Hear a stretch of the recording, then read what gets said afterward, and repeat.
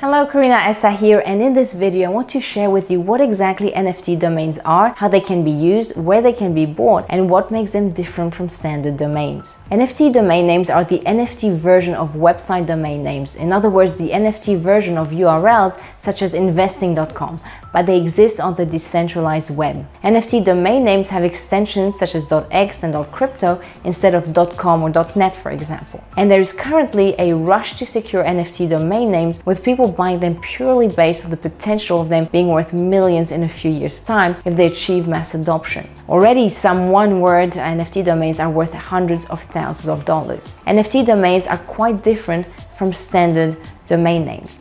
First, traditional domain names are quite one-dimensional as they only serve a few purposes and are held on a server. Traditional domain names have existed for over 30 years and there are now approximately 350 million domain name registrations. Traditional domain names can be tricky to plug into other types of software to interact with other applications. If you have a website of your own, you've probably noticed that it requires a lot of skills and knowledge to turn a domain name into a fully functioning website. With NFT domains, the process is much easier because you can very easily build more applications and programs on top of them and let them run like an app. You can even build additional software to interface with them. Plus, with traditional domain names, you don't actually own the domain name after you purchase it. It is still owned by the domain name registry service you bought it from. When you purchase a traditional domain name, you simply pay for the right to use the name for a limited time period. If you want to extend the time you want to use your domain name for, you have to pay renewal fees.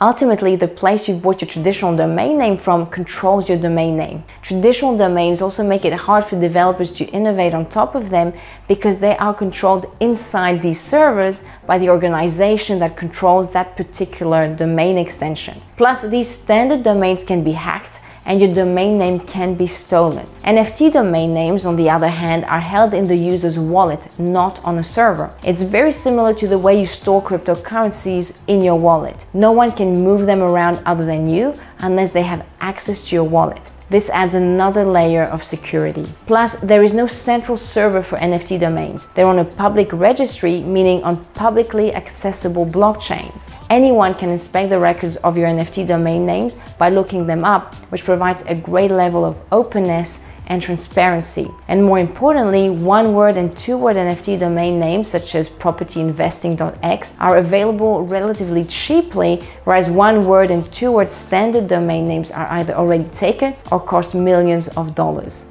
It's as if the clock has been turned back 30 years to the days when .com domain names were available for just a few dollars.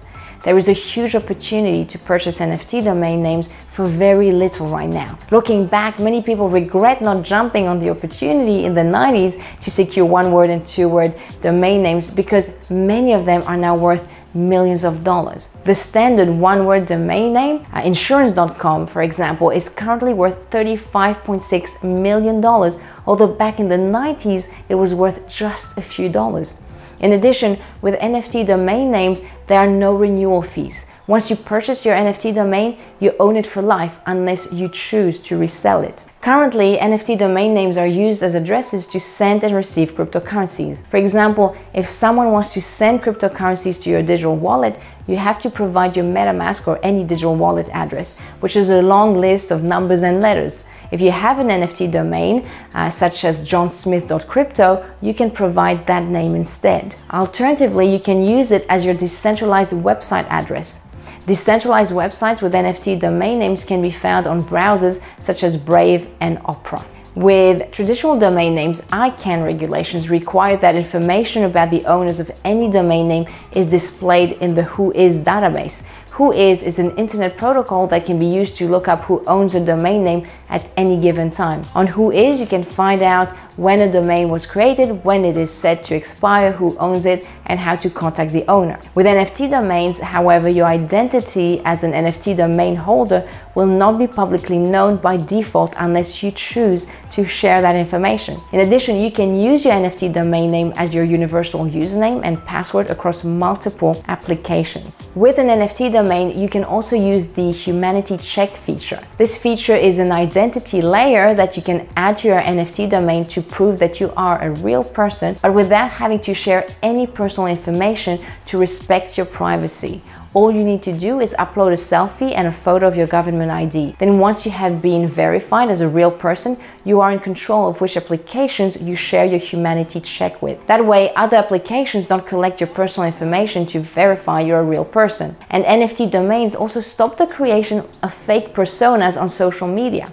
So far, it has been very easy for anyone to impersonate you on social networks. All they need to do is create a username, set a password, and then upload a profile picture of you. Within minutes, anyone can pretend they are you. To stop this from happening, all you need to do is link your NFT domain to your existing social media accounts, such as Twitter, so your followers and fans know it's really you. So if you've decided to own a few NFT domains, you can buy them on unstoppablewebdomains.com. Simply choose the keywords and the domain extension you want, such as adam.crypto, and you can purchase it with a credit card, PayPal, or with cryptocurrencies. When you first purchase an NFT domain with unstoppablewebdomains.com, you will be asked to verify your email address. Simply click on the link they send you by email to do so. Once you have purchased your first NFT domain, remember that it is yours forever unless you choose to sell it.